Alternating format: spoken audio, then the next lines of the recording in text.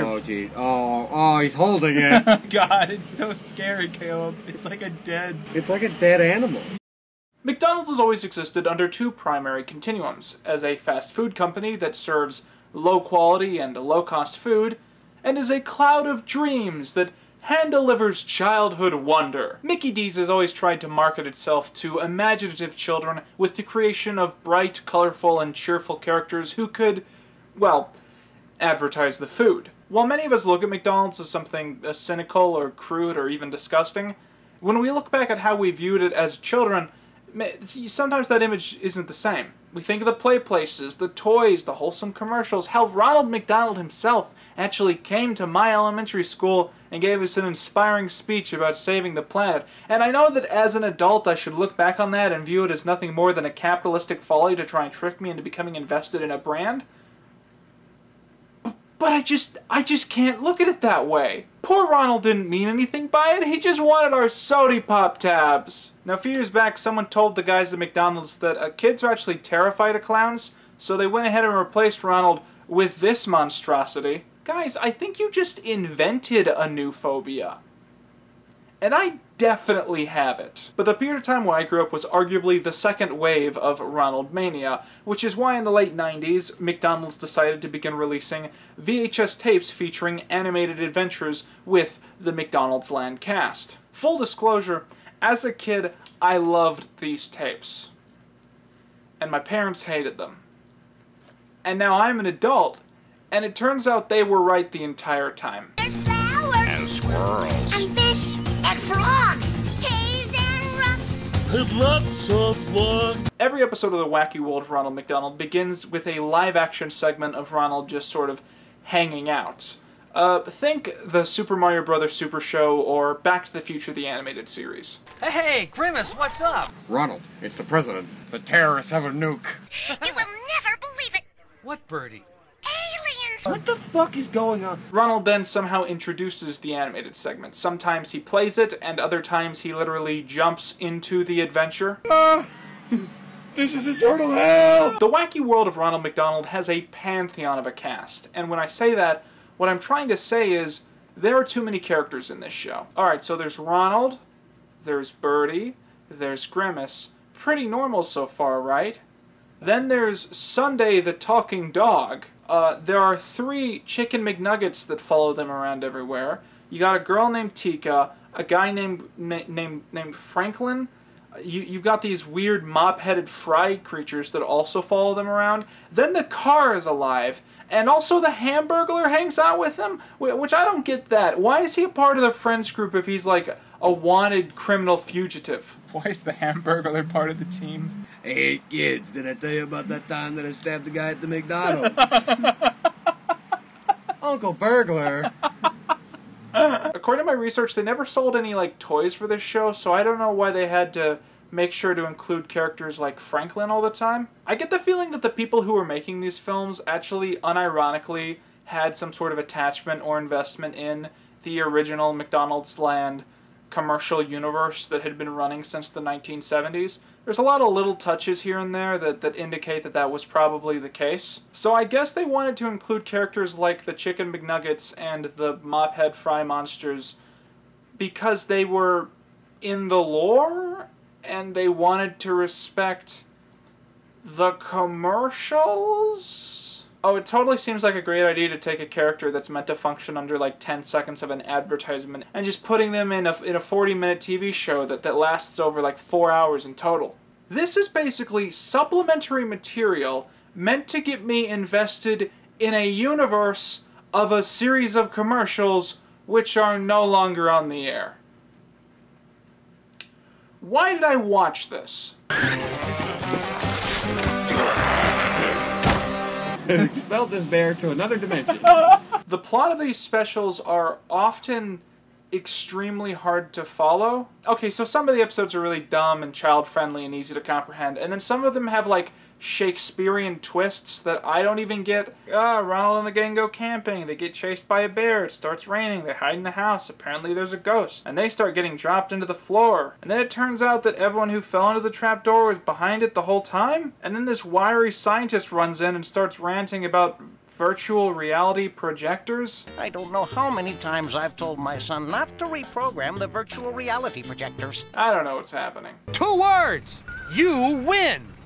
Okay, okay, you win. Hey, we made a new friend. So you're saying that you're mad that they forgave the they forgave the kid? Absolutely. It's bullshit.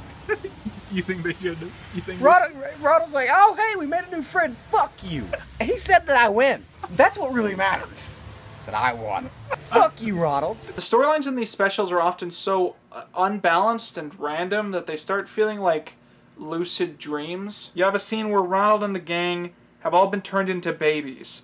They get chased to a cliff. Grimace pulls out Pepper. Ronald blows that into the air, making a sentient cloud sneeze, causing it to rain, and now there's a shrubbery maze? I guess the team that made these specials also made Rugrats, and they just wanted to stick to their guns. Every episode of The Wacky Adventures of Ronald McDonald features three to five songs, and it becomes pretty quickly evident that these songs have been included A, because they take up time, and B, because the repeated verses means that you can repeat animation without anyone really caring.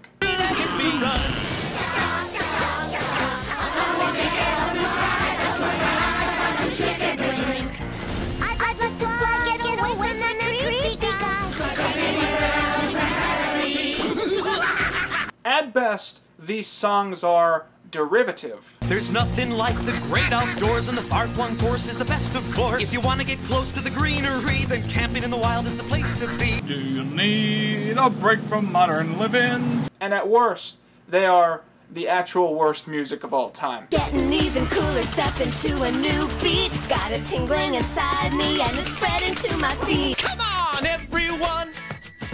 We never know, no, no, no, what's around the bend.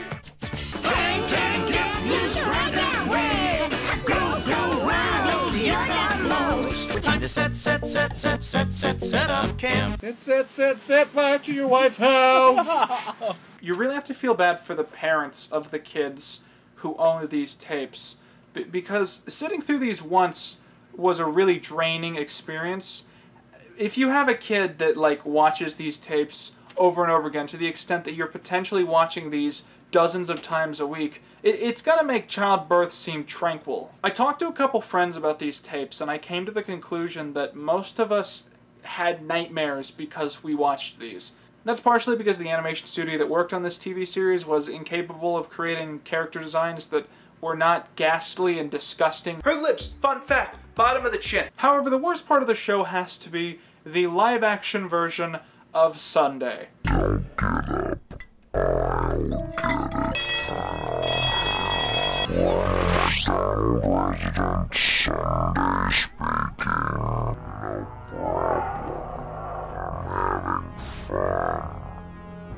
Adulthood Trauma Part 2, anybody? I do not understand how anyone could look at this and, in good faith, say to themselves, let us give this to children. Why the dog? I don't understand at all. McDonald's Land or whatever, it has those iconic characters. It's got Grimace, it's got the bird lady. Then it's got herpes mouth dog. Don't you is he your favorite character? There are some parts of these specials which have aged really, really badly.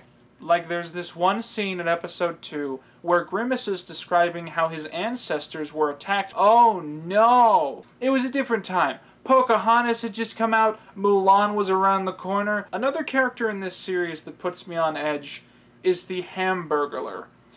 He has this shrill, obnoxious, screaming voice. It's also Cow from Cow and Chicken, and uh, yeah, I hate it. Don't listen to that guy, he's jealous. Deal. Oh, good. What? Run! Of all the characters in this series, the one that stands out the least is Ronald. Ronald McDonald was always sort of like the fast food Santa Claus to me, so to suddenly turn around and find out that this whole time he was just like a guy in a yellow tracksuit, it's really surprising, I guess. And he's not even like doing a bit or anything, he's just like a regular guy who's dressed up like a clown. His only characteristic is that he's vaguely nice. Come on, Hamburglar. Go easy on me, huh? You Come on, Hamburger. Hamburglar.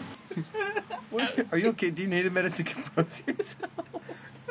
Come on, hamburger.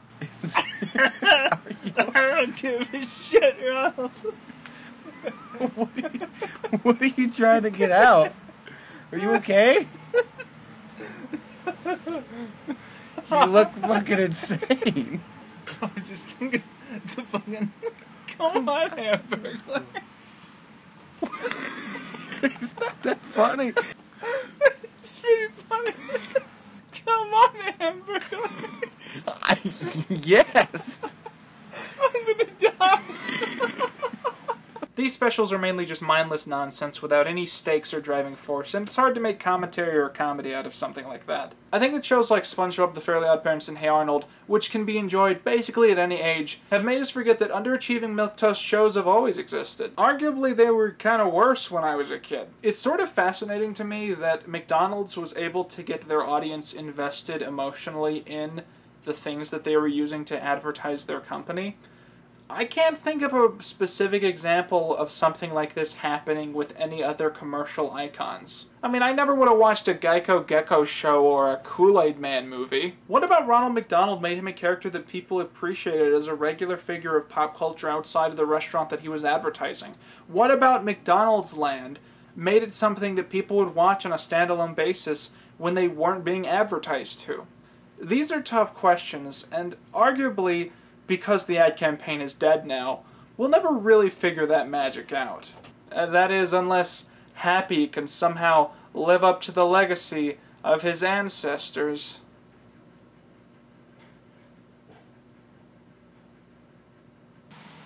What was that about? I don't know.